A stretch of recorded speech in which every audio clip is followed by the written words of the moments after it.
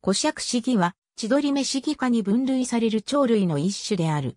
主にロシアのシベリア地方で繁殖し、冬はニューギニア、オーストラリアへの渡りを行い越冬する。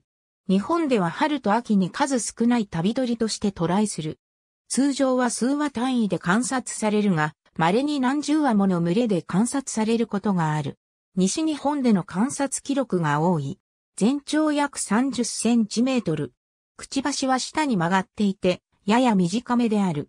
頭は黒褐色で単色の眉斑と頭汚線がある。体の上面は高褐色で腰から尾は泡褐色。腹部以外には細かい黒縁がある。死有動色である。批判色器は水田等の農耕地や荒れ地、草原などに生息する。干潟で観察されることは稀である。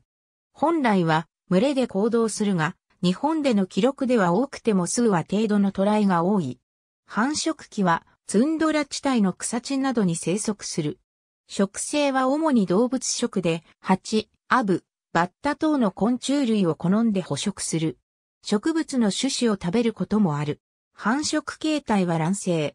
繁殖時期は5から7月で、ツンドラ地帯の地表に営巣する。3から4、卵を産み、メスのみが放卵する。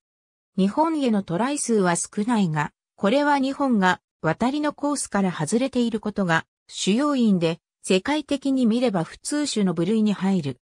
ありがとうございます。